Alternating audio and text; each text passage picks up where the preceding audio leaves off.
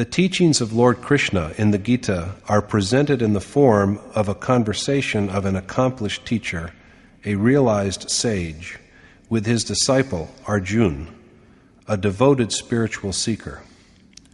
Arjun has requested Yogeshwar Krishna to support him, since he is his pupil who relies on him. Arjun prays for such teachings which may help him to attain ultimate bliss. Similarly, what you will hear next is a traditional homage in Sanskrit made at the beginning to a revered, accomplished teacher or sage, describing his attributes and requesting blessings and guidance, and offering up the merits of any accomplishments which may result therefrom.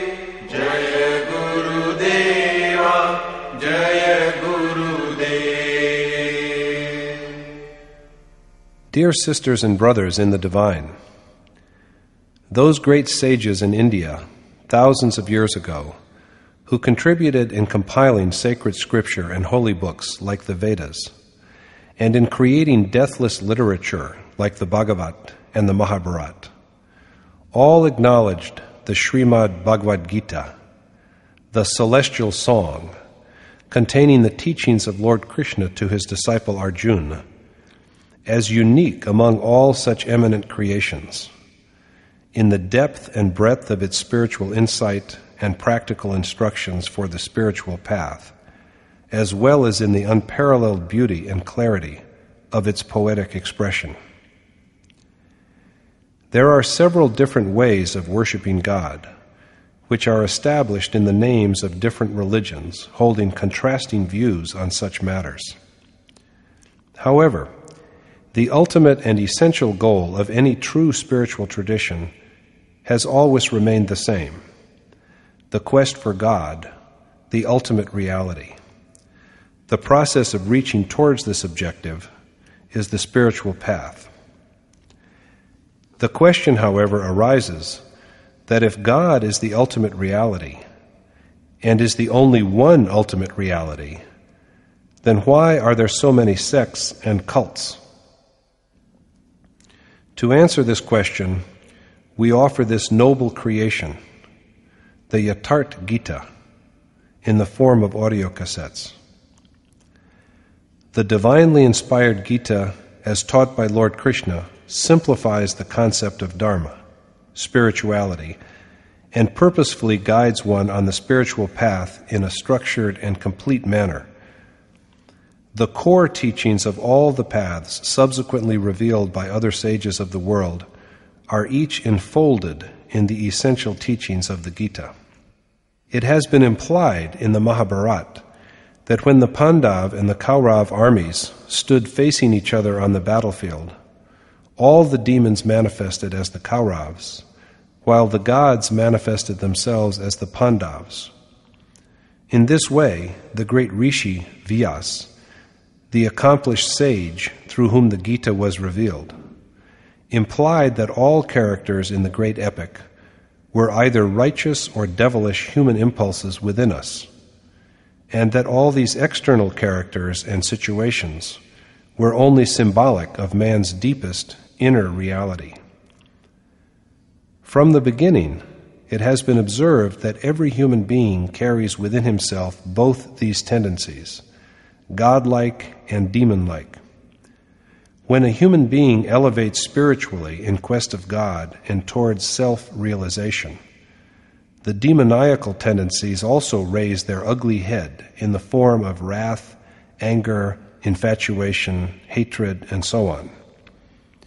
The overcoming of these ugly tendencies and obstacles is the real war depicted in the Gita, the internal war conducted within the sphere of the human heart by the sincere seeker to liberate himself or herself from worldly bondage and attain spiritual victory and everlasting peace. Arjuna held the opinion at the beginning of the Gita that to have the desired results in life, one has to perform important customary rites of his time, abide by family tradition and creeds, avoid the mixing of castes or races, and avoid participating in the violence which would eliminate the families and his kinsmen by refusing to fight in the war altogether. Lord Krishna had to enlighten him on various aspects of life and what was really at stake in the battle underneath its appearance, so that all his doubts were allayed throughout the 18 chapters of the Gita. At the end, Krishna asked Arjuna, is your delusion born out of ignorance dispelled? And Arjuna professes that indeed, through the grace of Krishna's teachings, his ignorance has been dispelled and his doubts extinguished, and that he is now ready to act in accordance with Krishna's directives. These teachings and precepts, as a matter of fact, were not only for Arjuna, but for all mankind. Each of us wonder as did Arjun. What is the real purpose of life? What are the results we really desire, and what is the correct path to attain them? Hence, reading or listening to and contemplating all 18 chapters of the Gita is of great benefit to all men and women, old and young, indeed, for every human being. The Gita is not only a work of the world's great literature, it is a holy book or scripture relevant to people everywhere and for all times. Therefore, such reading or listening to the Gita will awaken the presence of the divine, deep within each one of us and set worthy values in the minds of children. However, one has to actually tread the path shown by the Gita if one wants to obtain these insights into its knowledge of the great mystery that is existence. These cassettes have been designed to help in that endeavor and to thereby bring you to infinite joy, eternal peace, prosperity, and the clearing away of all sadness, doubts, and fears, including the great and terrible fear of death. It is indeed a matter of our good fortune and blessings that even after 5,000 years, the teaching of Lord Krishna is available for each of us to apply in our lives. Listen to these cassettes whenever you wish to open your heart and set your mind free of all age old conventions and allow it to come on the path of self realization, the merging into the Supreme Spirit. In doing so, you are an integral part of that timeless tradition everywhere of seekers becoming accomplished sages, experienced by countless individuals in all cultures throughout history, now and in future generations yet to come.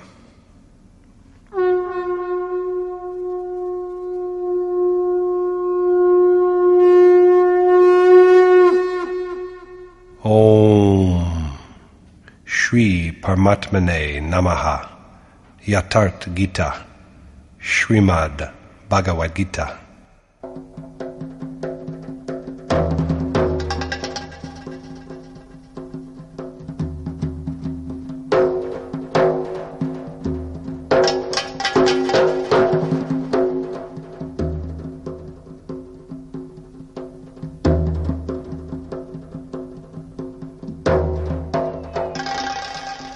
Chapter 1 The Yoga of Irresolution and Grief.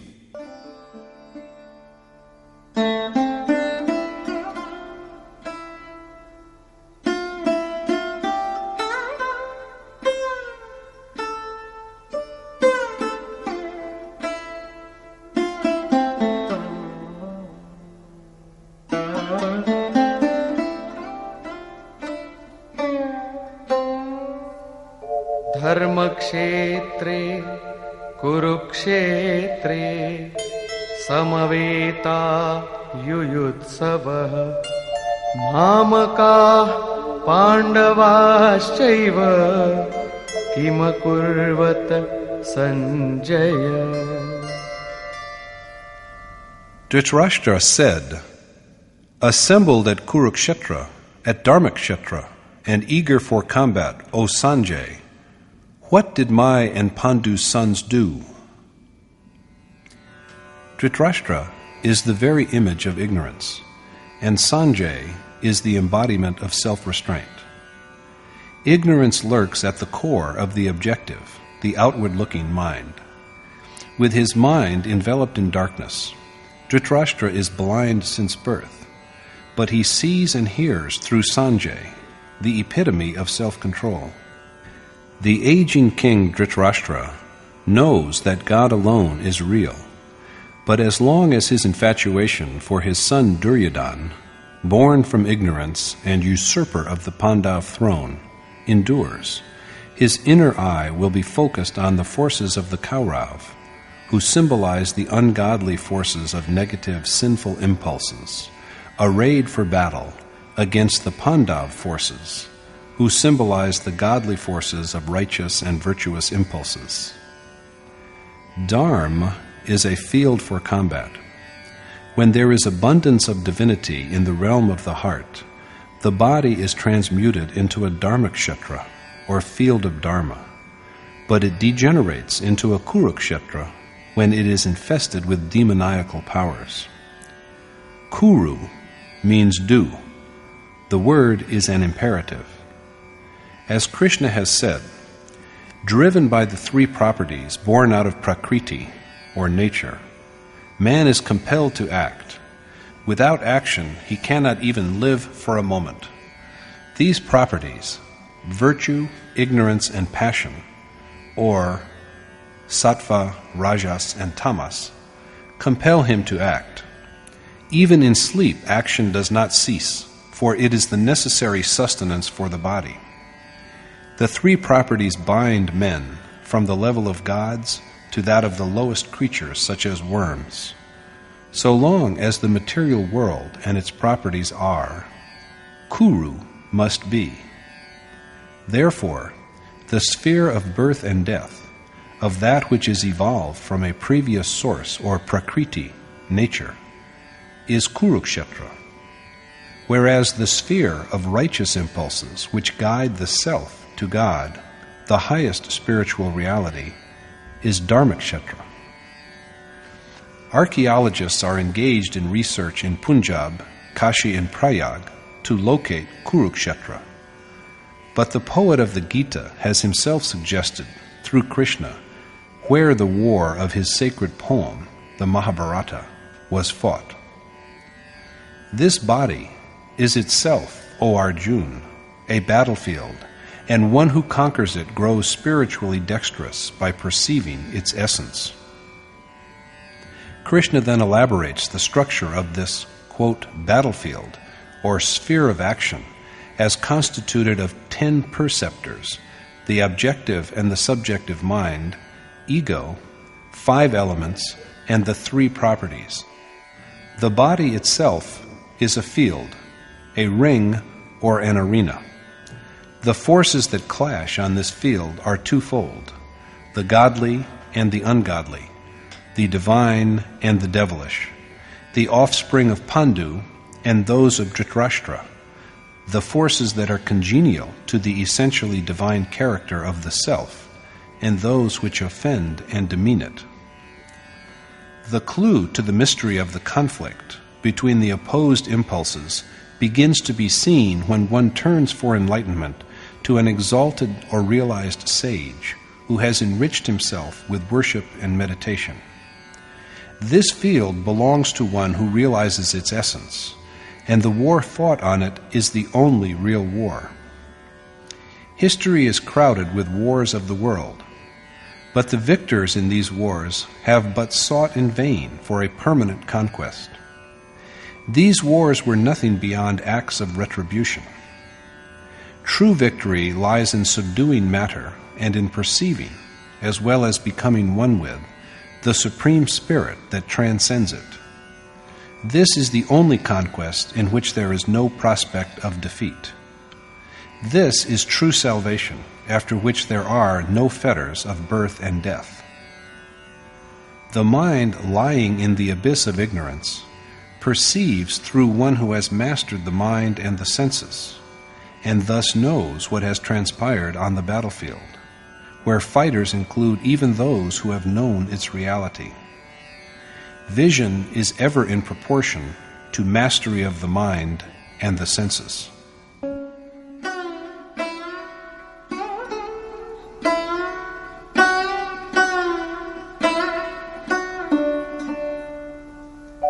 दृष्ट्वा तु पाण्डवानीकम् व्यूढम् दुर्योधनस्तदा आचार्यमुपसङ्गम्य राजा वचनमब्रवीत् Sanjay said, At the time, after having seen the Pandav army standing in battle array, King Duryodhan approached his teacher Dronacharya and spoke thus Dual conduct itself is represented by the figure of Dronacharya, the great warrior and teacher of both the Kaurav and the Pandav. When the awareness dawns that we are alienated from God, there arises in the heart an acute hunger for the attainment of that exalted spirit. Only then do we set out to seek an accomplished teacher. Between the two opposite impulses, this awareness of our alienation and ignorance is the first initiator into wisdom, although the teacher of ultimate excellence will be Yogeshwar Krishna himself, an adept in yoga. King Duryodhan, an embodiment of excessive attachment to worldly objects, goes to his teacher. Attachment is at the root of all griefs, indeed, their sovereign. It tempts one away from the spiritual treasure, and so it is named Duryodhan. Only the soul property is the stable property, and it is attachment which generates impurity in it. It draws one to the material world, but it also provides the primary motive for enlightenment. Inquisitiveness is possible only as long as there is attachment, or else only the impeccable spirit remains. So, after having seen the Pandav army arrayed, that is, after having glimpsed the righteous impulses that are in tune with the self, Duryodhan, a victim of attachment, goes to his teacher Dronacharya and says,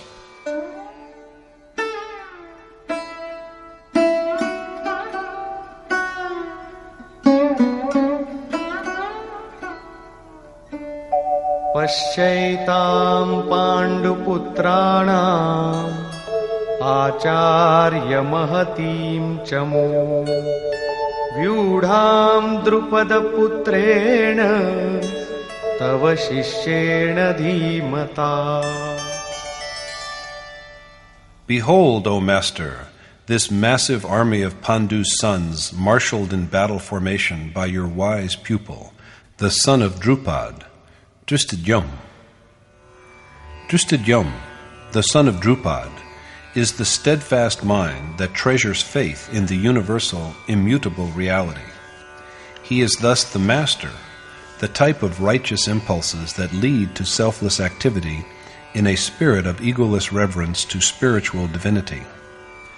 As is said, not means, but the determination of mind needs to be firm.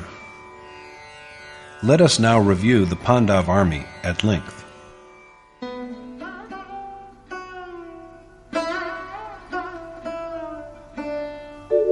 अत्र शूरा महेश्वासा भीमार्जुनसमायुधि युयुधानो विराटश्च द्रुपदश्च महारथः here in the army are many valiant archers, Yuyudan, Virat, and the great martial commander Drupad, who are a worthy match for the brave Arjun and Bhim. And this army of Pandu's sons, the Pandav, is composed of those who can guide souls to the Supreme Spirit, like Bhim, who is an embodiment of resolute sentiment, the image of tender devotion, Arjun, and many other valiant warriors, such as Satyaki, endowed with goodness, Virat, and the great warrior leader Drupad, symbolizing consistency and steadfastness on the path of spirituality, and धृष्टकेतुश्चेकितानः काशीराजश्च वीर्यवान् पुरुजित्कुन्तिभोजश्च शैब्यश्च नरपुङ्गवः Drishtaketu, Chekitan, and the mighty king of Kashi, as well as Purujit and Kuntiboj and Shaibya, the unparalleled among men, and Drishtaketu, the steadfast in duty, Chekitan, who can rein in his straying thought and concentrate it on the Supreme Spirit, the king of the holy city of Kashi, an emblem of the sacredness that resides within the world of the body. Purujit, the one who obtains victory over matter in all its forms, gross, subtle, and instrumental. Kuntibhoj, who conquers worldly life by doing what is worthy of doing. Then Shaibya, of virtuous conduct. युधामन्युश्च विक्रान्तः उत्तमौजाश्च वीर्यवान्। सौभद्रो द्रौपदेयाश्च सर्व एव महारथाः।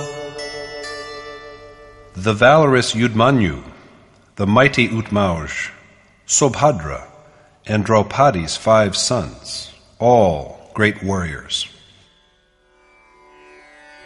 The heroic Yudmanyu of warlike temper, Utmauj with the spirit of abandon that flows from sacred excellence, Abhimanyu, Sobhadra, the son of Arjun and Subhadra, with a mind without fear because it is propped up by righteousness, and the five sons of Draupadi, who herself is a form of discernment of the divine.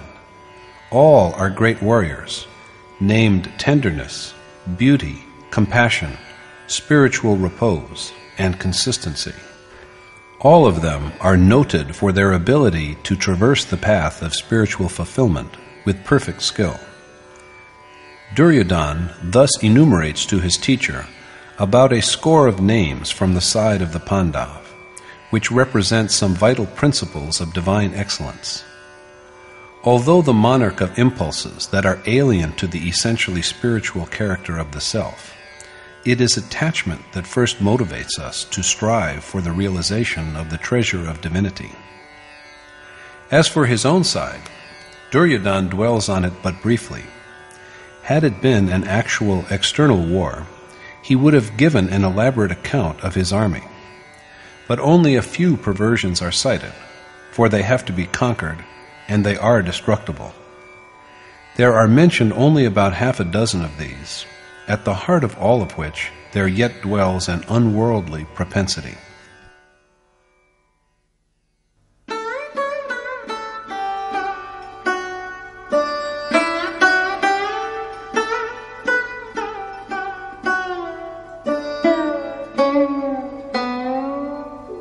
अस्माकं तु विशिष्टाये तान्निबोधद्विजोत्तम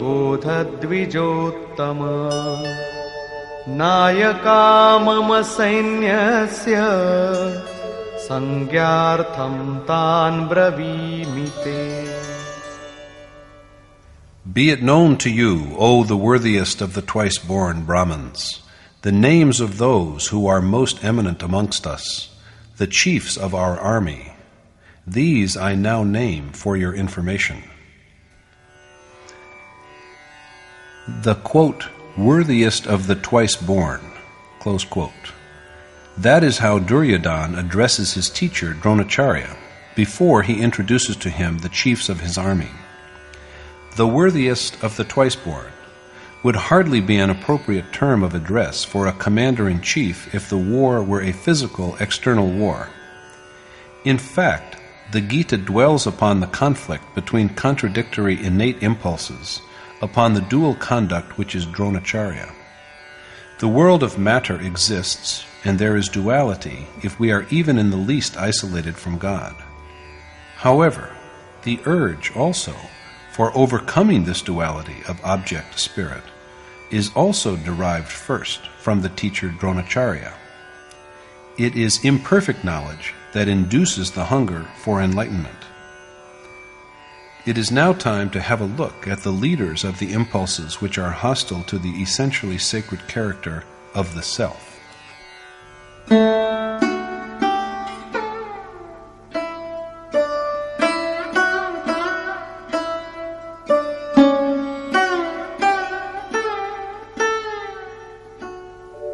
भवान् भीष्मश्च कर्णश्च कृपश्च समितिञ्जयः अश्वत्थामाविकर्णश्च सौमदत्तिस्तथैव च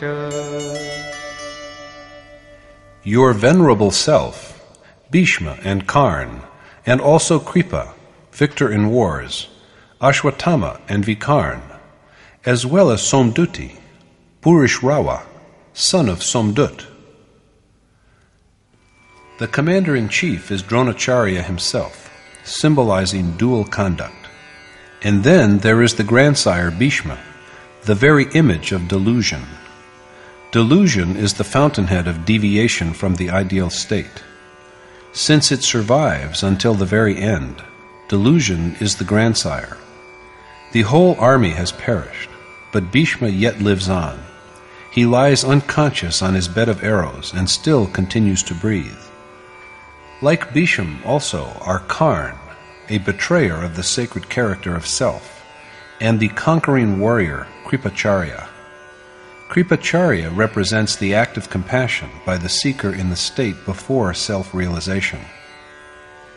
God is the mine of compassion, and the sage attains to the same state after fulfillment. But during the period up to accomplishment, so long as the worshipper is removed from God, and God is removed from him, when the uncongenial impulses are still alive and strong, and he is besieged by delusion, if the seeker feels compassion at this stage, he is destroyed. For acting with pity in leaving her meditation hut and giving alms to the king of attachment disguised as a beggar, while her husband Rama was away, Sita had to undergo penance in the kingdom of Lanka for years. Vishvamitra fell from grace because he felt tenderness at this stage. Maharshi Patanjali, the preceptor of Yoga aphorism, has expressed a similar view when he says, Attainments made through perfect meditation are indeed attainments, but they are also just as formidable obstacles in the way of the endeavor of the individual soul for identification with the Supreme Spirit as are sensual desire, anger, greed, and delusion. Goswami Tulsidas has said, O Garud, manifold are the obstacles built up by Maya when we strive to unravel the knots of properties of nature mere distortions of truth. Attainment of sanctity elevates, but the mind conjures up one temptation after another. The illusory Maya obstructs in many ways. It brings men accomplishments and untold wealth, and even turns them into holy beings. If a being of such accomplishment just passes by, even a dying man is revived. Notwithstanding the recovery of the patient, however, the seeker shall be destroyed if he regards the cure as his own achievement. Instead of one sickness, a thousand maladies will swarm upon his mind. The process of reverent contemplation of the divine will be interrupted, and he will so stray from the right path that the world of matter overwhelms him. If the goal is distant and the seeker feels compassion, this one act alone is sufficient to result in the debacle of his whole army. So he has to be on his guard against the feeling of compassion until the moment of final attainment, although at the same time it is also true that compassion is the hallmark of a saint. But before ultimate fulfillment, this kind of compassion is the mightiest warrior among the evil, demoniacal impulses. It is thus that Ashwatthama is an image of inordinate attachment, Vikarn of indecision, and Bhurishrawa of perplexity and confusion. They are all chiefs of the outward flowing current of life.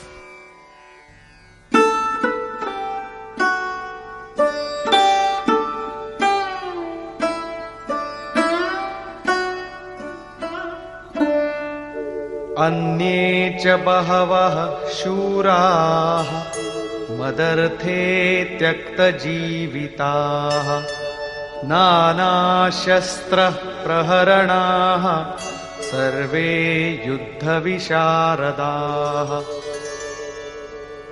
And there are many other skilled warriors also, equipped with numerous arms, who have forsaken hope of life for my sake.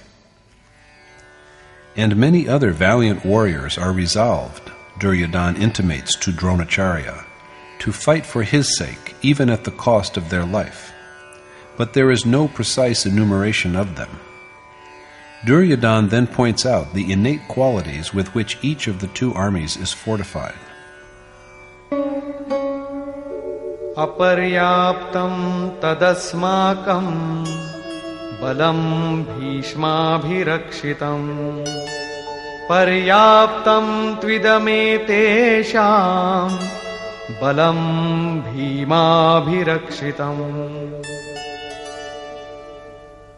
Our army, defended by Bhishma, is unconquerable, while their army, defended by Bhim, is easy to vanquish.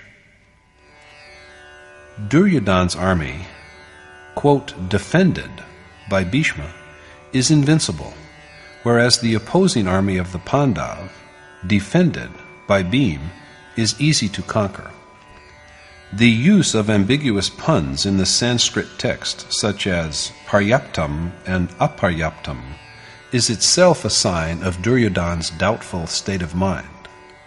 So we have to look carefully at the power that Bhishma represents, on which all the Kaurav hopes rest, as well as the qualities symbolized by Bhim, which the Pandav, endowed with the treasure of divinity, rely upon. Duryodhan then gives his final estimate of the situation.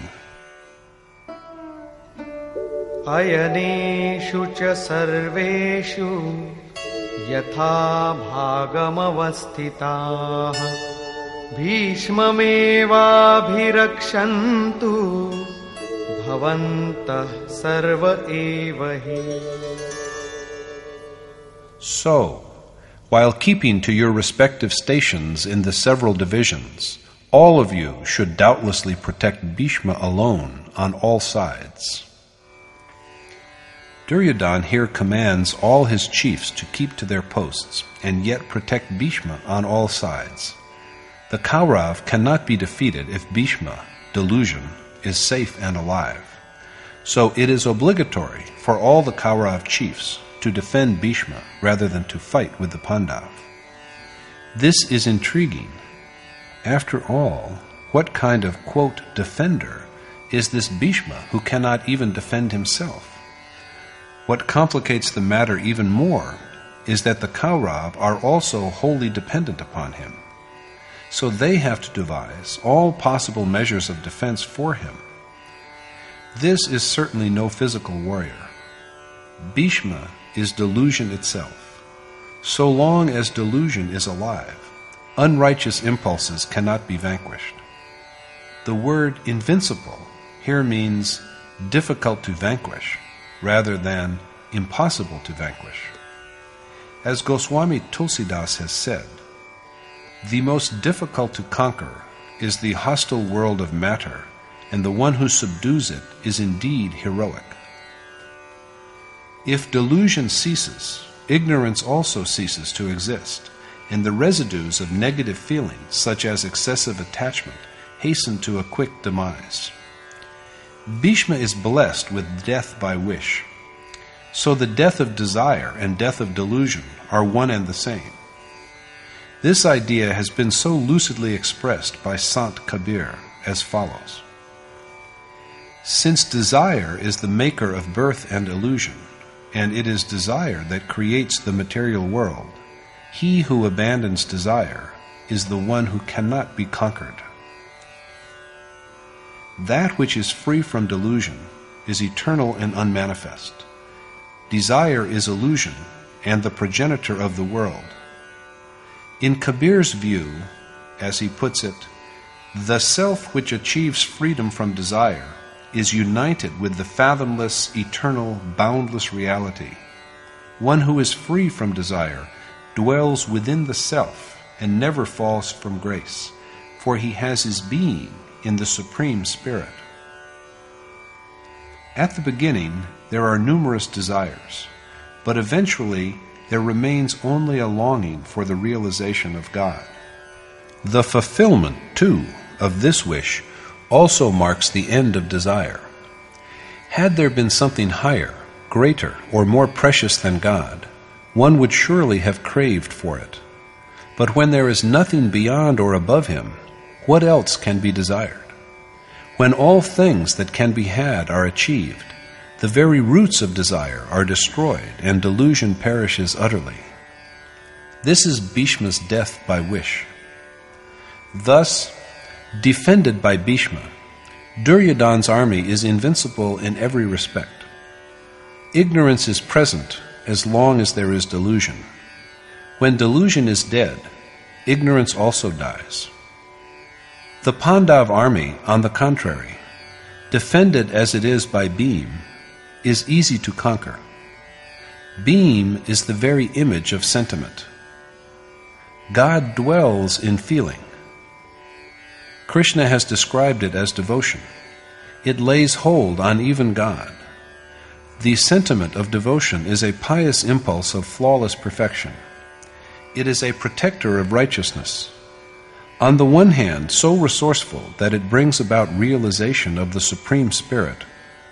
On the other hand, it is also so delicate and fragile that this day's fidelity and adherence often turn into nothingness and even outright privation on the next day.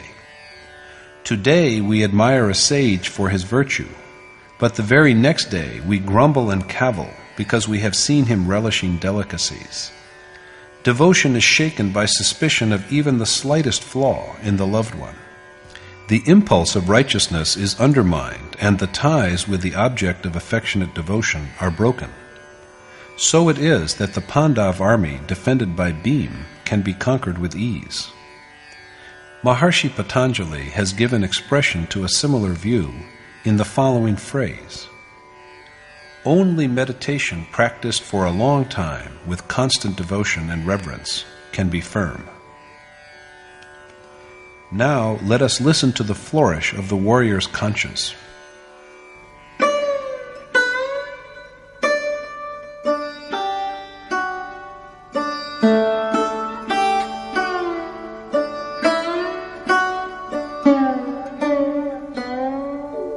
तस्य सञ्जनयन् हर्षम् कुरु वृद्धः पितामहः सिंहनादम् विनद्योच्चैः शङ्खम् दध्मौ प्रतापवान् To Duryodhan's delight, then, his mighty grandsire and the eldest of the Kaurav, Bhishma, blew his conch to blare forth a lion like roar. Conches are blown after the Kaurav have taken stock of their strength. The trumpeting of conches is a declaration of the intention of each of the chiefs of what he can offer after conquest. The mighty grandsire Bhishma, the eldest of the Kaurav, blows his conch to produce a lion like roar which gladdens Duryodhan's heart. The lion represents the terrible, tooth and claw aspect of nature. Our hair stands on end and our hearts beat violently when we hear the roar of a lion in a still, solitary forest, even though we are miles away from the beast.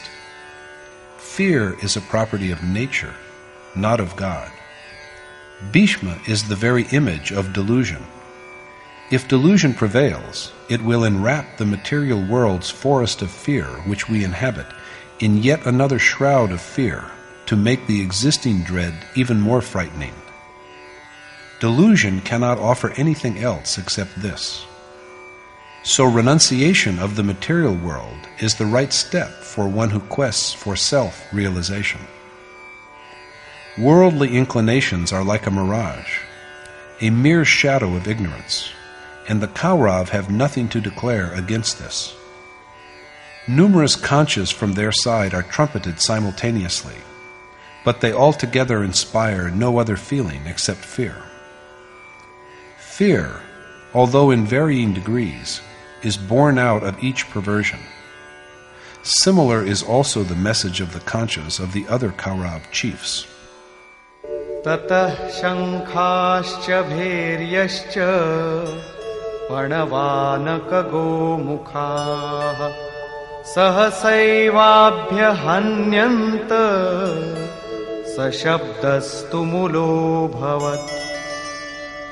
then there abruptly arose a tumult of conchas and kettle drums, tabors, drums, and cow horns. After Bhishma's blowing of his conch, numerous other conchas, drums, and trumpets are sounded together, and they make an awesome noise. The Kaurav have no message other than that of fear.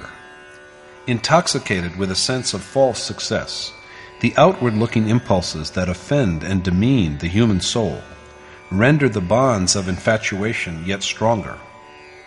Now the Pandav, representing righteous impulses that are in harmony with the divine character of the self, respond to the Kaurav challenge with their own declarations, the first of which is made by Yogeshwar Krishna himself.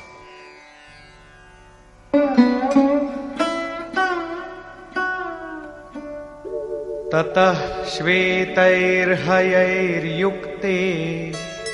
महती स्यन्दने स्थितौ माधवः पाण्डवश्चैव दिव्यौ शङ्खौ प्रदध्मतु Then too, Madhav, Krishna, and Pandu's son, Arjun, seated in the magnificent chariot to which white steeds were yoked, blew their celestial conchas.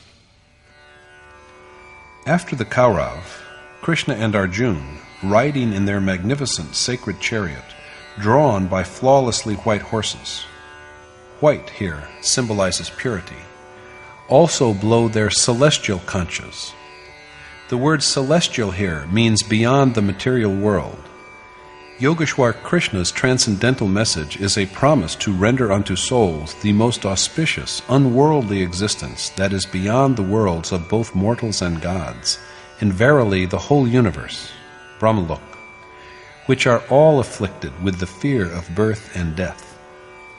The chariot under his charge is not made of gold and silver and wood. Everything about him is celestial the chariot, the conch, and therefore also his message. Beyond these worlds, there is only the one unique and indescribable God. Krishna's message is of establishing a direct contact with this Supreme Being. But how will he effect this state?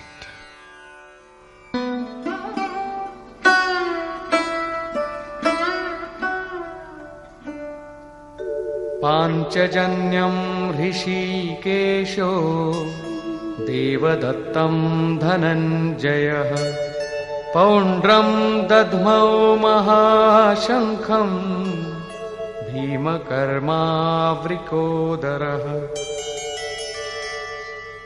While Rishikesh, Krishna, blew his conch, Panchjanya, and Dhananjay, Arjun, the conch named Devdut, the Vrikodar, Bhim, of awesome deeds, blew the great conch, Paundra.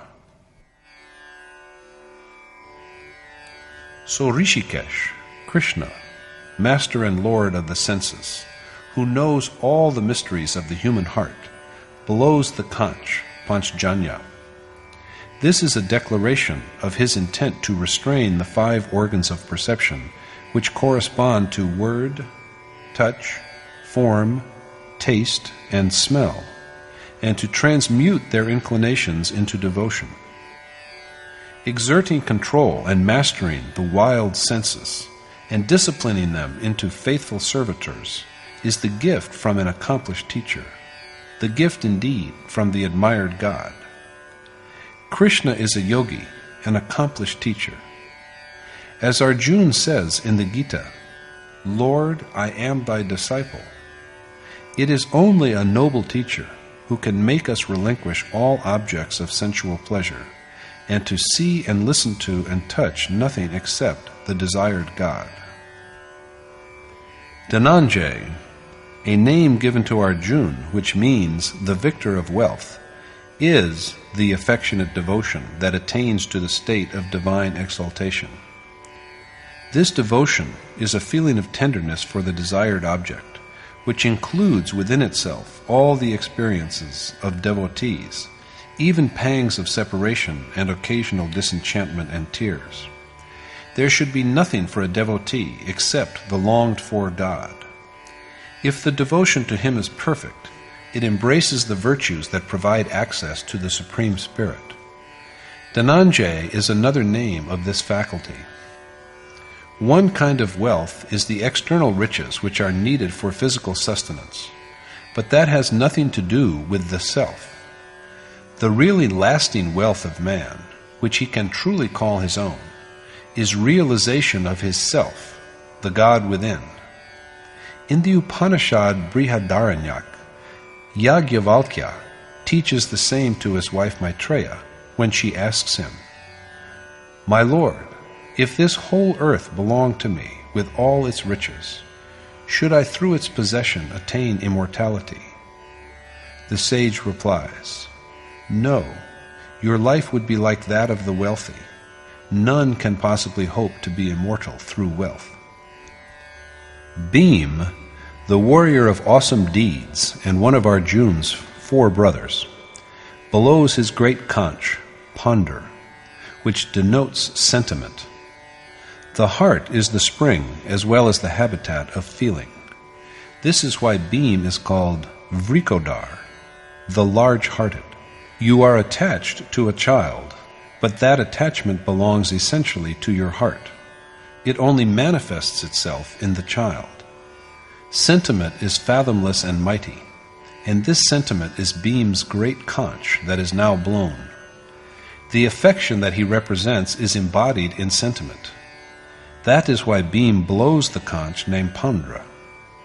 However, although sentiment is mighty, it can be so only through the medium of love. Goswami Tulsidas admits that he has known the omnipresence of God only through its manifestation in love.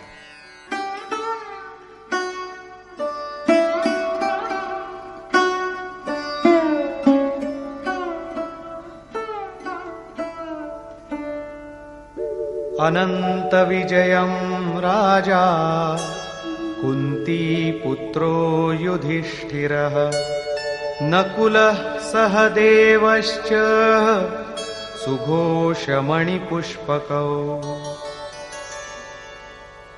King Yudhishthir, the son of Kunti, blew the conch Anantvijay, whereas Nakul and Sahadev blew their conches Sughosh and Manipushpak. King Yudhishthir of the Pandav, one of the brothers of Arjun, blows the conch Anantvijay, which means endless conquest. Kunti, his mother, is the very image of dutifulness, and Yudhishthir, the embodiment of dharma, or natural piety. If one's adherence to dharma is steady, Anantvijay, endless conquest, will bring about the absorption of the self in the boundless God. The one who is firm in battle is Yudhishthir, one who is unshaken by the conflicts between self and the material world, between the body and the transcendental soul, and to whom the essence of the sphere of action has been revealed. He is enabled eventually by God, who alone is real, ceaseless, and immutable, to overcome all the contradictions. Nakul who is a symbol of restraint, blows the conch named Sughosh. As restraint grows firmer, evil is subdued and the dominance of righteousness is proclaimed. Sahadev, the adherer to truth, blows on the conch which bears the name of Manipushpak. Sages have described each breath as a precious ruby. As is said, what a pity that we squander the jewels of our breath on idle gossip. One kind of satsang is the moral discourse we hear from noble men, realized sages, accomplished teachers. But the real spiritual discourse is internal. According to Krishna, the self alone is true and eternal. True satsang comes about when the mind reins itself in from all externals and dwells with the self. This adherence to truth is cultivated by incessant reflection, meditation, and samadhi. The more joy one feels in dwelling with the one reality, the more restraint one gains over each breath, the mind, and the instruments by which objects of sense affect the self. The day they are totally restrained is the day when we are absorbed in the ultimate essence providing, like a good instrument, harmonious accompaniment to the song of the self, is true satsang. The physical ruby is hard, but the jewel of breath is even more tender than a flower. Flowers fall and wither soon after they bloom, and we can never say that we shall live until the next breath. But if there is true adherence to the self, it leads us to realize the highest goal through providing control over each breath. There is nothing to proclaim beyond this, although each device is helpful in traversing a certain stretch of the path of spiritual perfection. Sanjay further speaks on the subject.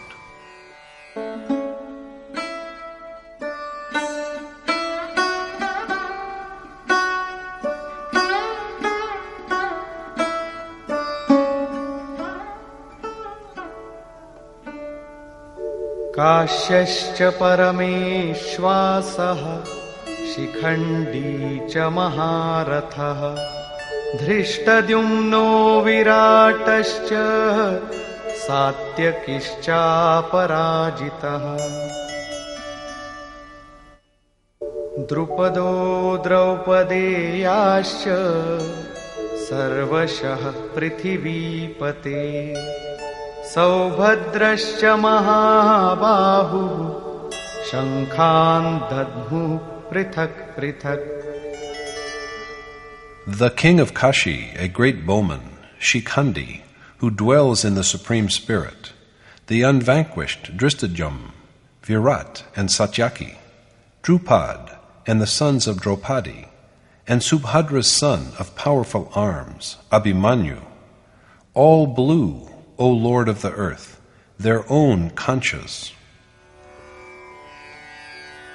The sacred city of Kashi is an emblem of the sacredness that resides in the physical body. When a man withdraws his mind and sense organs from all physical things and concentrates on the self within his body, he is privileged to merge with and dwell within God. The body which is capable of such a union is Kashi. The Supreme Spirit dwells in and pervades every single body. So Parmashwasa here means dwelling in the Supreme Spirit rather than a mighty warrior.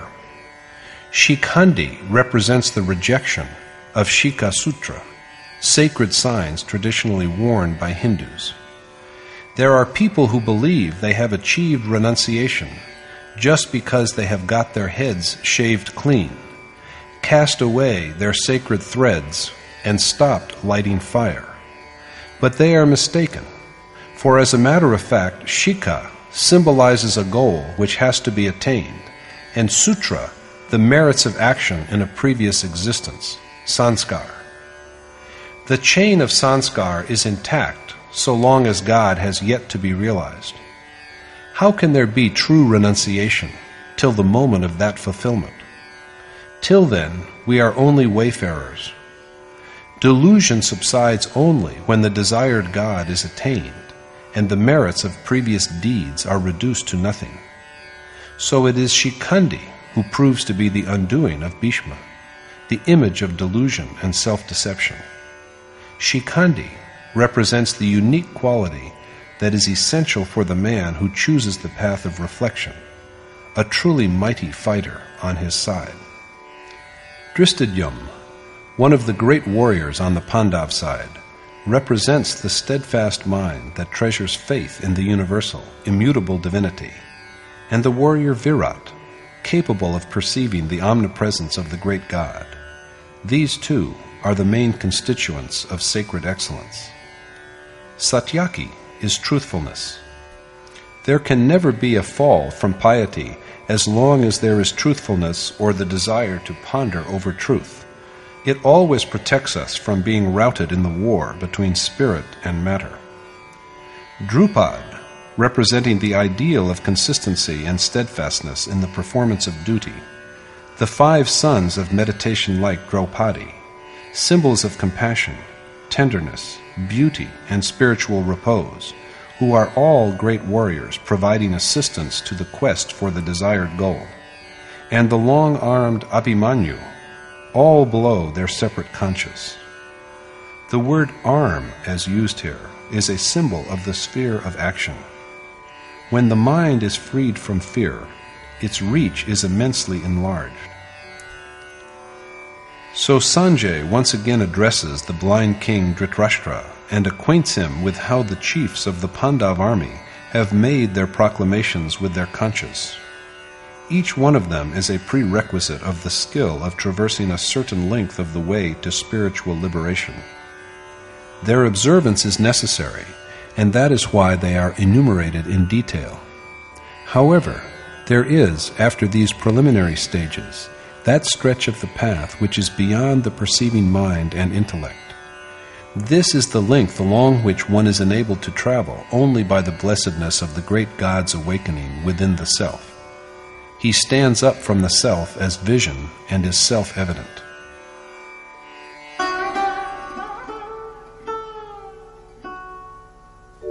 सघोषोधार्तराष्ट्राणाम् हृदयानि व्यदारयत् नभश्च पृथिवीम् चैव तुमुलो व्यनुनादयन् The loud tumult, reverberating through heaven and earth, pierced the hearts of Dhritarashtra's sons. The great tumult, echoing through heaven and earth, rends the hearts of Dhritarashtra's sons. There is the Pandav army also, but the hearts that are rent are only those of the Kaurav, of Dhritarashtra's sons. When the mana of Panchjanya, made up of true knowledge, realization of the infinite, destruction of evil, and affirmation of piety, begins to flow, the Kaurav hearts, with their unrighteous and outward looking impulses, can only be rent. Their power wanes by and by, and if the process meets with success, infatuation ceases to exist altogether.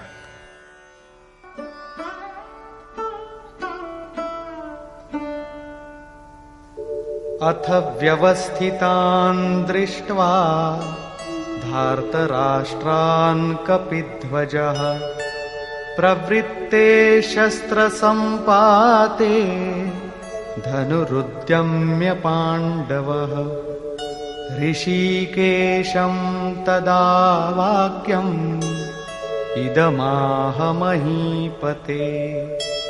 सेनयोरुभयोर्मध्ये रथं स्थापयमेच्युत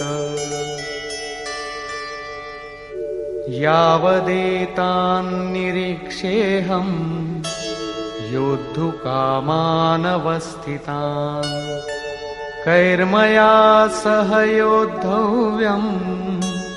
अस्मिन् रणसमुद्यमी। Then, O king, after viewing the sons of Dhritarashtra in array, when the discharge of missiles was about to commence, Kunti's son Arjun, whose ensign bore the image of Hanuman, raised his bow and spoke to Rishikesh thus O Achyut, Krishna, keep my chariot between the two armies, so that I may watch those who are formed up for combat, and know whom I have to fight in the ensuing battle. Sanjay, an epitome of self restraint, endeavors to enlighten the mind of Dhritarashtra, lying under a pall of ignorance, by pointing out that apart from the other exemplary captains of the Pandav army, there is the Hanuman ensign of Arjun. Hanuman, a symbol of true renunciation. Disenchantment with the world and the desire to renounce it are the mark of Arjun's battle standard.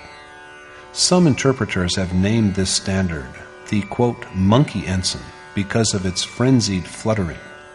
But this is unacceptable, for the primate exhibited on the ensign is no common monkey, but the god Hanuman himself, who has risen above all distinctions. To him, honor and dishonor are the same.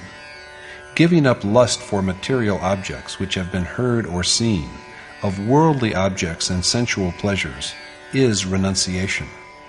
So, after having seen Dhritarashtra's sons arrayed just when missiles are about to be launched, Arjun, whose distinctive motto is renunciation, lifts his bow and speaks to Rishikesh, the lord and master of the senses and knower of the mysteries of the heart, addressing him as the infallible. He requests his charioteer, Krishna, to station the chariot between the two armies. His words, however, are not words of command to a charioteer, but a prayer by a devotee to the worshipped one, a noble sage and accomplished teacher. But why does he want Krishna to park the chariot? Arjun wants to ascertain well who the warriors intent upon battle are, whom he has to fight in this business of warfare. योत्स्यमानानवेक्षेऽहम् य एतेऽत्र समागताः धार्तराष्ट्रस्य दुर्बुद्धे युद्धे प्रियचिकीर्षवः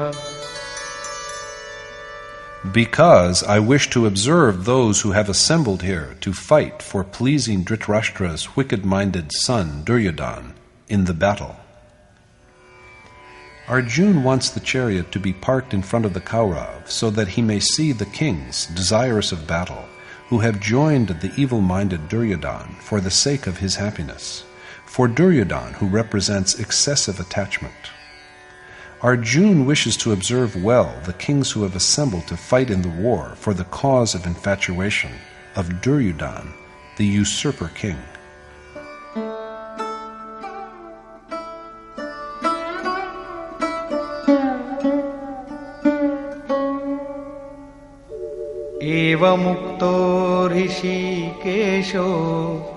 गुडाकेशेन भारत सेनयोरुभयोर्मध्ये स्थापयित्वा रथोत्तमम् भीष्मद्रोणप्रमुखतः सर्वेषां च महीक्षिताम्। उवाच Partha पश्यैताम् समवेतान् कुरुनिति Thus addressed by Gudakesh, O descendant of Bharat, Dhritarashtra, Rishikesh parked the unique chariot between the two armies in front of Bhishma, Drona, and all the other kings, and said, Behold, O son of Pritha, Arjun, the assembled Kuru. Sanjay thus informs Dhritarashtra how, on being requested by Arjun, who has mastered sleep, Krishna, who knows all that is to know of the mind and heart, parks the chariot of unexcelled beauty in the midst of all the kings who have staked out claims on the earth, which is the body in macrocosm, and asks Parth Arjun to behold the assembled Kaurav. The quote excellent chariot in question is made of neither gold nor silver, nor of any material substance.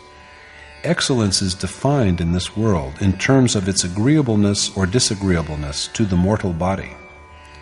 But such a view is misleading, for that alone is excellence which is always one with the real, the self, and which has no unrighteousness or impurity about it.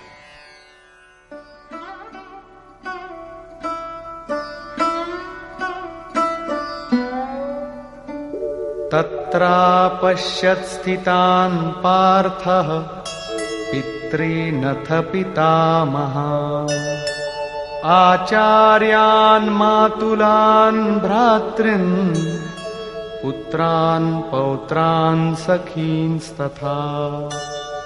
श्वशुरान् सुहृदश्चैव सेनयोरुभयोरपि। तान् समीक्ष्य स कौन्तेयः सर्वान् बन्धूनवस्थितान् कृपया परयाविष्टो विषीदन्निदमब्रवीत् Parth Arjun then saw, mustered in the two armies, uncles, granduncles, teachers, maternal uncles, brothers, sons, grandsons, and friends, as well as fathers in law and well wishers. Seeing all these kinsmen assembled together and overwhelmed by intense pity, he spoke thus in great sorrow. Parth Arjun, the perfect marksman who has made a chariot of his earth formed body, looks at the army and sees his kinsmen.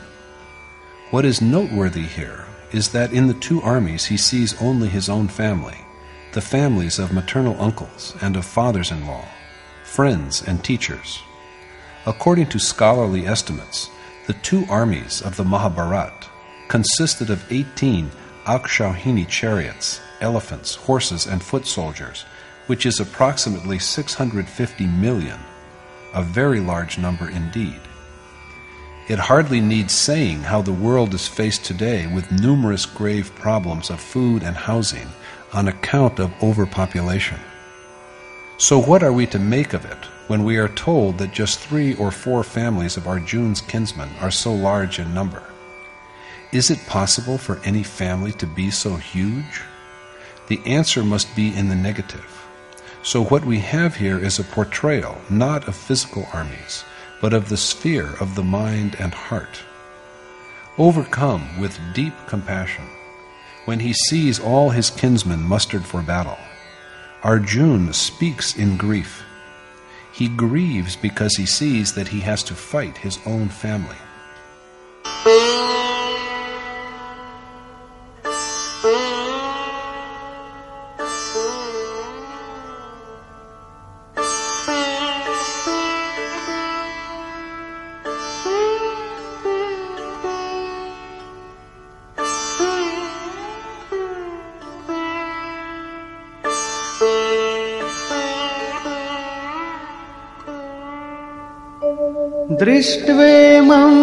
स्वजनं कृष्ण।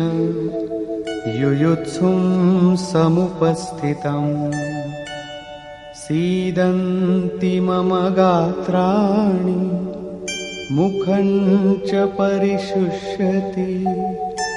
वेपथुश्च शरीरे मे रोमहर्षश्च जायते गाण्डीवं स्रंसते हस्तात् त्वक्चैव परिदह्यते न च शक्नोम्यवस्थातुम् भ्रमतीव च मे मनः Arjun said, Seeing these kith and kin mustered with the purpose of waging war, O Krishna, my limbs grow weak, my mouth is dry, my body trembles, my hair stands on end. The Gandiv, Arjun's bow, slips from my hand. My skin is burning all over. I am unable to stand, and my mind is bewildered. Looking at the gathering of his kinsmen, Arjun is unnerved.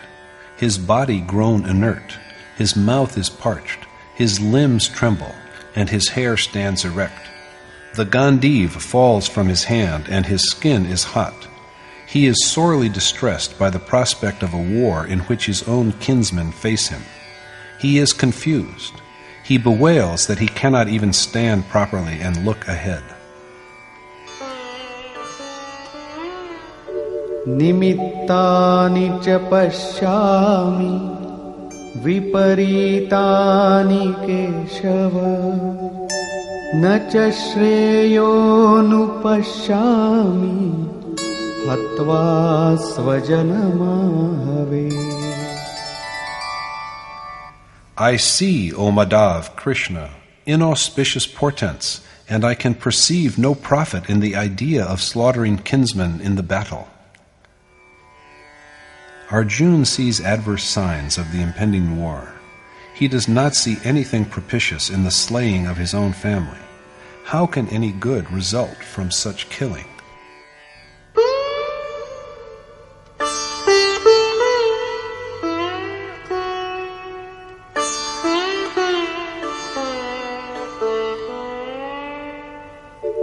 न काङ्क्षे विजयं कृष्ण न च राज्यं सुखानि च किन्नो राज्येन गोविन्द किं भोगैर्जीवितेन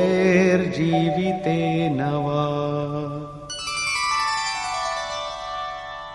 I aspire, O Krishna, after neither victory nor a realm and its pleasures, for of what avail is sovereignty to us, O Govind, Krishna, or enjoyment, or even life itself?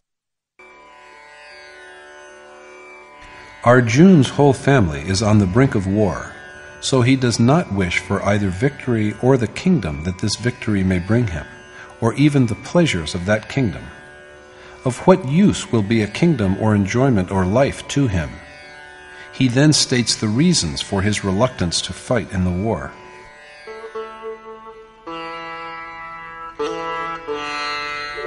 येषामर्थे काङ्क्षितं no राज्यं भोगाः सुखानि च तैमेव स्थिता युद्धे प्राणांस्त्यक्त्वा धनानि च They for whose sake we crave for a kingdom, pleasures and enjoyments, are formed up here, putting at stake both their life and wealth. The family, for whose sake Arjun has desired the happiness of a kingdom and other pleasures, is now mustered on the battlefield despairing of its life. If he had desired a kingdom, it was for them. If he had hungered for the pleasures of wealth and indulgence, it was because he wanted to enjoy it along with his kith and kin. But he now desires neither a kingdom nor pleasures, nor enjoyment because he sees his kinsmen standing against him without any hope of life. Whatever he had desired was dear to him for their sake. But he does not need these things if he has to get them at the cost of his kinsmen. Desires remain as long as there are family ties.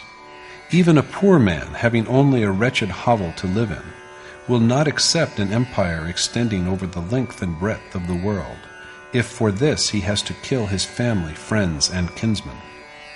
Arjun says the same thing.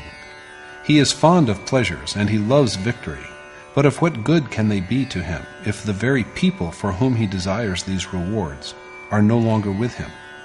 Of what use will enjoyment of pleasures be in their absence? After all, who are the people he will have to kill in the war?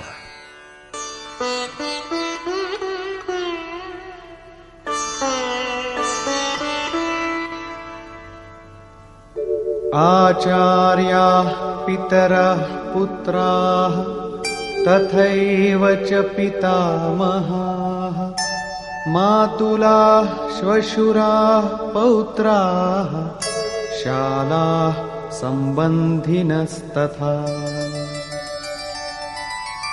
एतान्न हन्तुमिच्छामि घ्नतोऽपि Madhusudan. अपि त्रैलोक्यराज्यस्य हेतो किन्नु मही कृते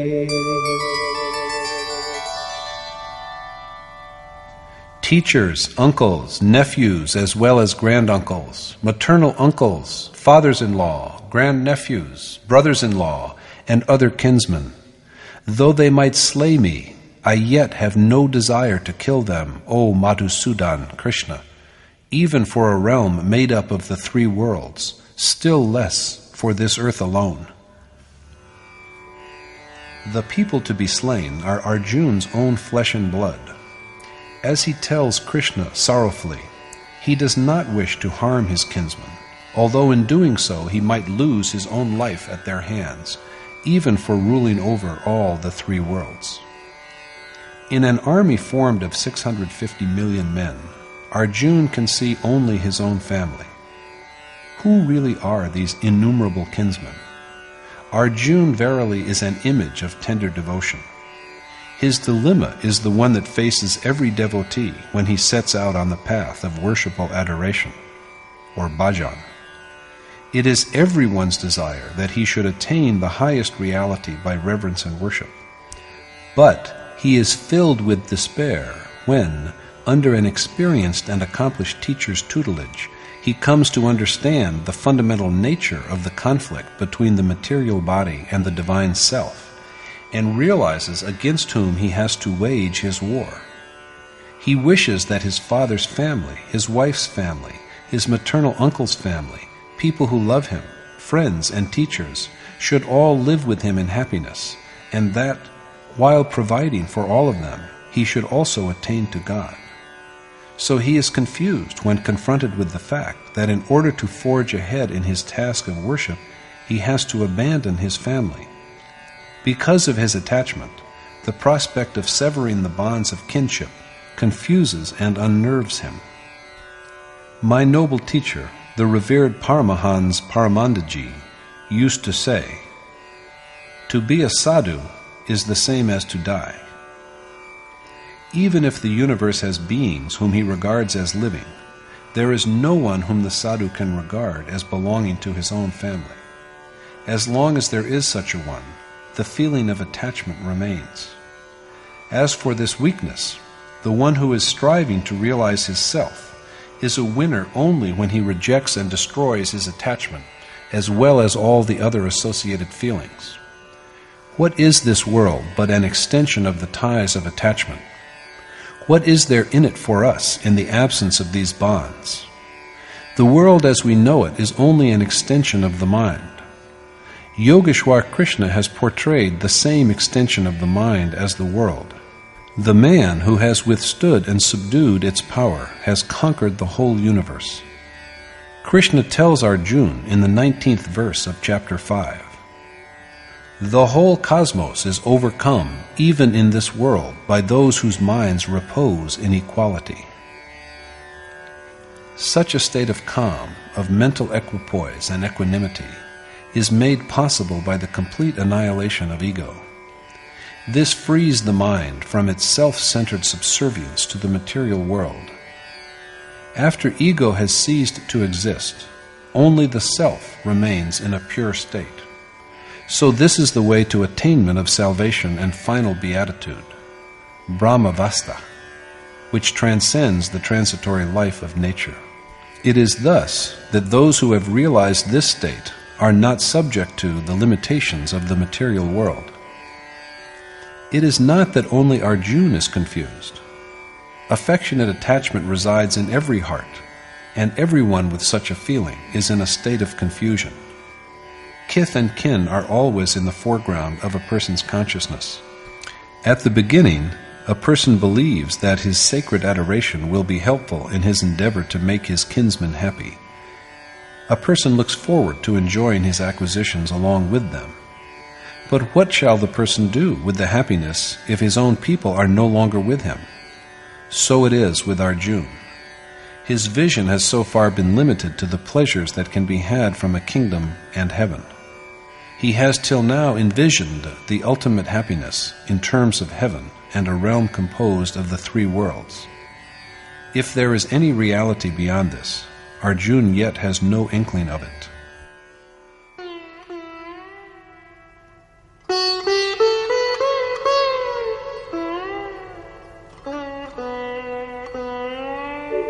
निहत्य धार्तराष्ट्रान्नः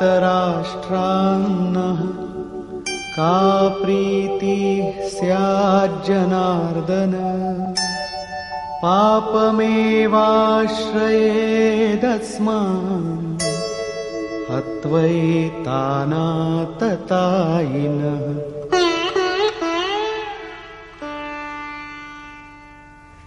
What happiness can we have, O Janardhan Krishna, from slaying these sons of Dhritarashtra? Only sin will fall to our lot if we kill even these wicked men. What happiness can Arjuna gain from killing Dhritarashtra's sons? Dhritarashtra denotes the quote, insolent or profligate nation, and born from it is Duryodhan, the image of infatuation, the usurper king. But shall even the slaying of such an evil kinsman make Arjuna and Krishna happy? The Kaurav are unrighteous, but the Pandav will be only guilty of sin if they kill them. We call men evil doers if they adopt impious ways for their livelihood. In fact, however, the worst felons are those who put obstructions in the way of the self. The gravest offenders in this respect are lust, anger, avarice, and inordinate attachment, which obstruct one's realization of the self.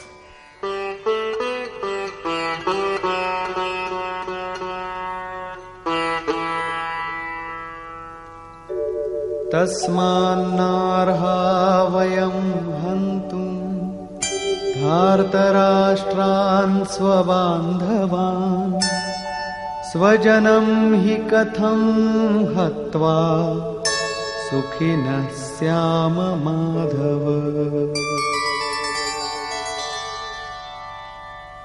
So it is not for us to kill Dhritarashtra's sons, for how indeed can we be happy, O Madhav Krishna, if we slaughter our own kinsmen? Is it not surprising that the Kaurav are at this moment seen as kith and kin? Did they not come to the battlefield as foes? In truth, physical relationship arises from ignorance. He is my maternal uncle. Here is my wife's family. This is the community of my own people. What are all these but ignorance?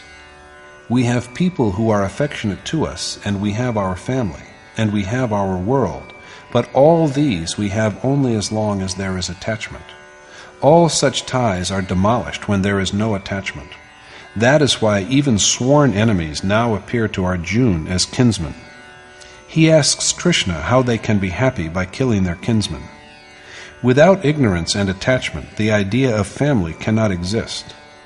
Paradoxically, however, it is this ignorance that also provides the initial urge for knowledge.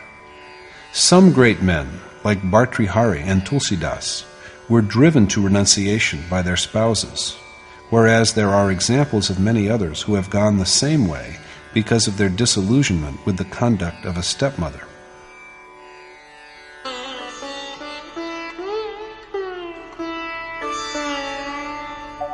यद्यप्येतेन पश्यन्ति लोभोपहत चेतसः कुलक्षयकृतं दोषम् मित्रद्रोहे च पातकम्।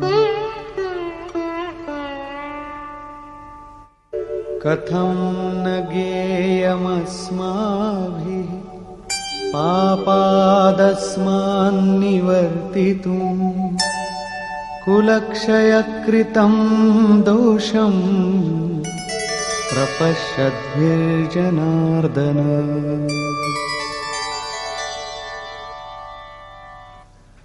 Although, with their minds vitiated by greed, they, the Kaurav, have no awareness of the evil they do in destroying families and in being treacherous to friends. Why should we, O Janardhan, who know that it is evil to destroy families, not turn away from the sinful act? Straying from righteousness because of their arrogance and avarice, the Kaurav are blind to the sin they commit by destroying families and practicing treachery against friends. This is their error. But why, Arjun wants to know from Krishna, should they themselves, knowing the evils of destroying families, not desist from the crime? What deserves special notice here is Arjun's belief that not only he, but Krishna also, is about to make the same error. So he is also indirectly accusing Krishna. Every novice taking refuge in an enlightened teacher reasons in the same way. Arjun is under the impression that perhaps the problem that is bothering him has not yet occurred to Krishna. All the same, they are both reasonable men, and it is required of them to think of the evil consequences of destroying a family. कुलक्षये प्रणश्यन्ति कुलधर्माः सनातनाः धर्मे नष्टे कुलं कृत्स्नम् अधर्मोऽभिभवत्युत In case of the destruction of a family, its eternal sacred traditions are lost, and impiety afflicts the whole family with the loss of its values. Until now, Arjun has viewed family traditions as the eternal truth, the Sanatan Dharma, and he also believes that with the loss of these traditions, families are laden with sin. अधर्माभिभवात् Krishna प्रदुष्यन्ति कुलस्त्रियः स्त्रीषु दुष्टासु वार्ष्णेय जायते वर्णसङ्करः When sin prevails, O Krishna, women of the family stray from virtue, and when they are unchaste, O descendant of the Vrishnis, Varshneya, Krishna, there is generated an unholy mixture of classes, Varnasankar. When unrighteous ways dominate a family, its women lose their chastity, and there arises an intermingling of different classes of incompatible cultures and ways of living. According to Arjun, this sinful intermingling occurs when women lose their virtue. But Krishna contradicts this by saying, I am fully contented in the self, and there is nothing more precious which is beyond my reach. Yet I continue to practice meditation and renunciation and urge others to the same.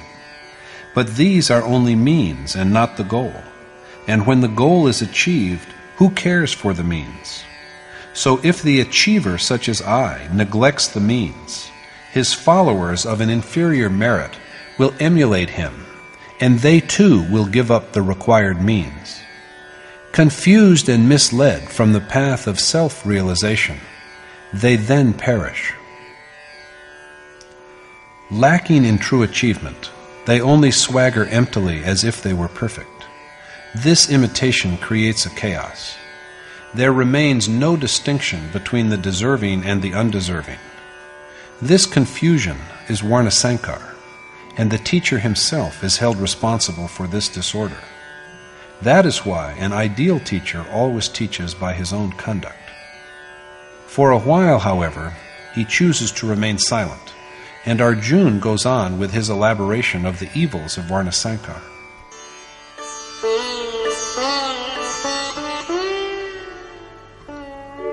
सङ्करो नरकायैव कुलघ्नानां कुलस्य च पतन्ति पितरो येषाम् लुप्तपिण्डोदकक्रियाः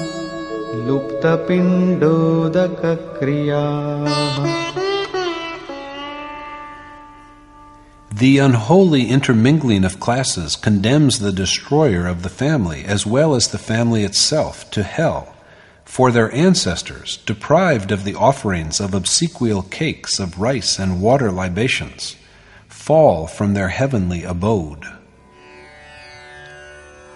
It is a quality of Varnasankar to dispatch families and their destroyers to hell. Divested of obsequial gifts of rice cakes, their forefathers also lose their heavenly home. The present is destroyed, the ancestors of the past fall, and the posterity to come will also descend to hell. Not only this, but in Arjun's view,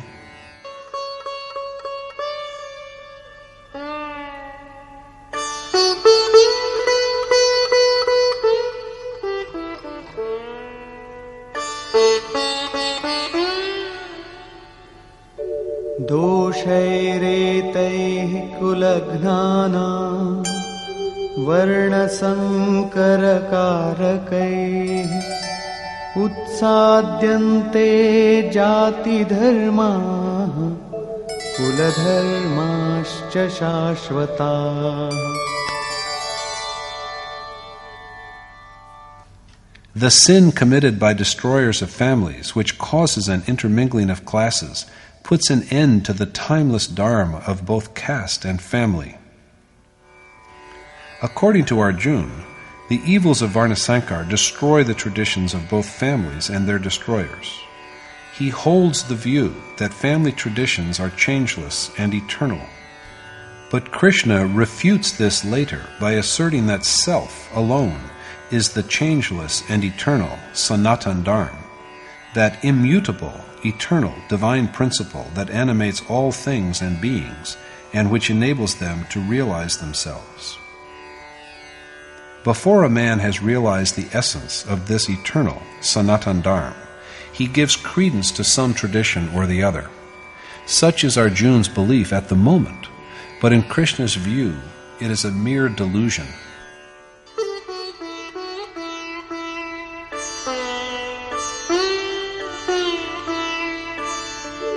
उत्सन्नकुलधर्माणां मनुष्याणां जनार्दन नरके नियतं वासो भवतीत्यनुशुश्रुम We have heard, O Janardhan Krishna, that hell is indeed the miserable habitat for an infinite time of men the traditions of whose families have been destroyed. Men whose family traditions are destroyed have to dwell in hell endlessly. What is significant, though, is that Arjun has only heard so. As he believes, with the destruction of a family, not only its traditions, but also its own changeless everlasting Dharma is destroyed. He thus equates traditions with the eternal Sanatan Dharma. It is well known, he says, how a man has to suffer in hell for the loss of his Dharma. But he has only heard so, not seen, but only heard of it. अहो बत महत्पापम् कर्तुं व्यवसिता वयम् यद्राज्यसुखलोभेन हन्तुं स्वजनमुद्यताः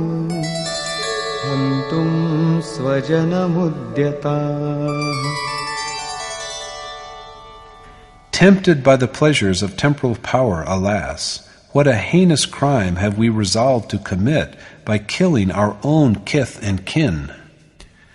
How regrettable that although possessed of wisdom, they are yet determined to commit a grave sin by being intent upon killing their own family because of greed of regal power and its pleasures. At this point, Arjun regards his knowledge as in no way less than that of Krishna. All seekers, as it has already been said, feel this way at the outset.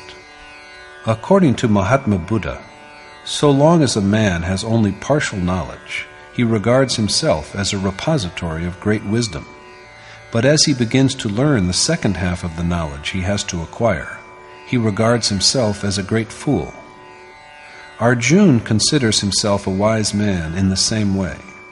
He takes the liberty of persuading Krishna that it is simply not possible that their sinful act can have any propitious outcome, and also that their resolve to destroy their family is motivated by sheer greed of sovereignty and its pleasures. They are really committing a terrible error. Convinced that the error is not only his, he has a dig at Krishna when he remarks that the error is also Krishna's. And at last he delivers his final view of the matter to Krishna.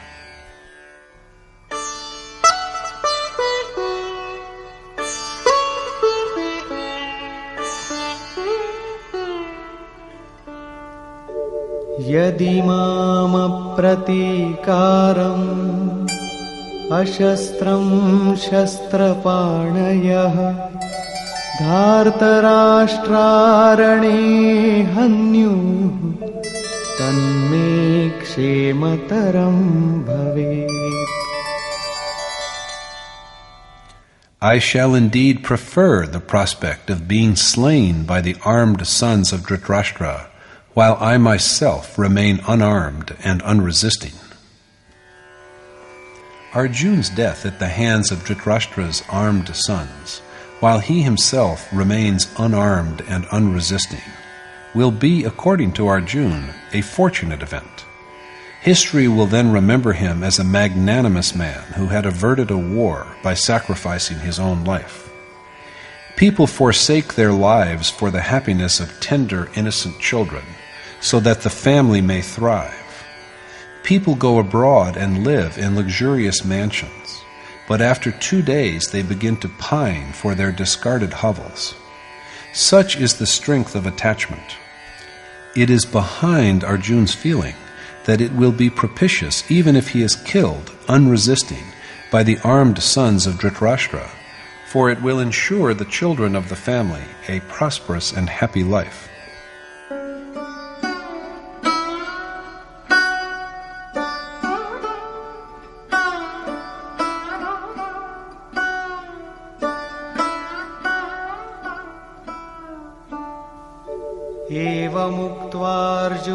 सङ्ख्ये रथोपस्थ उपाविशत् विसृज्य सशरं चापम् शोकसंविघ्नमानसः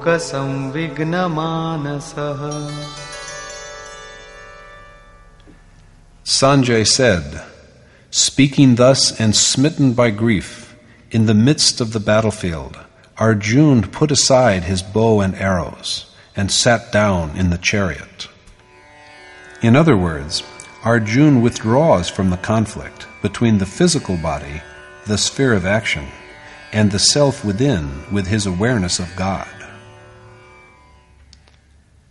Conclusion Looking at the armies on the battlefield of life, we see our own families, and they have to be destroyed. The world is but an extension of attachments. Attachment to the family proves an obstacle in the primary stage of the worshipper's devotion to the desired goal. He is shaken when he discovers that he shall have to part with his near and dear ones and treat them as though they had never existed. He finds nothing but unpropitious harm in his act of destroying his own people. Like Arjun, he looks for an escape into prevailing traditions. Arjun says that family traditions are the eternal Sanatan Dharma. Destruction of family and caste traditions by war is thus destruction of the eternal Dharma itself. And when Dharma is lost, women of the family grow unchaste, and there is a sinful intermingling of classes, which must drive both the family and its destroyers to hell for an indefinite time. With this limited knowledge and wisdom, Arjun is desperate to protect the family traditions which he regards as the eternal Sanatan Dharma. So he pleads with Krishna and wishes to be enlightened on why they, Krishna and he, men of sagacity, should be bent upon committing the heinous sin of destroying their family. According to his view of the issue at hand, even Krishna is about to become an accessory to the crime. Finally, Arjuna asserts adamantly that in order to save himself from the sin, he shall not fight. Saying this, he sinks despairingly in the rear of the chariot. In other words, he turns his back on the precious enterprise of the perennial conflict that rages between matter and spirit, between godly and ungodly impulses, between forces that drag a man down to gross nature, and forces that elevate and finally take the soul to the supreme God. Thus concludes the first chapter in the Upanishad of the Srimad Bhagavad Gita on the knowledge of the Supreme Spirit, the science of yoga, and the dialogue between Krishna and Arjuna entitled Sanshaya Vishad Yoga, or the Yoga of Irresolution and Grief. Thus concludes Swami Adgadanand's exposition of the first chapter of the Srimad Bhagavad Gita in Yatharth Gita. Hari Om Tat Sat.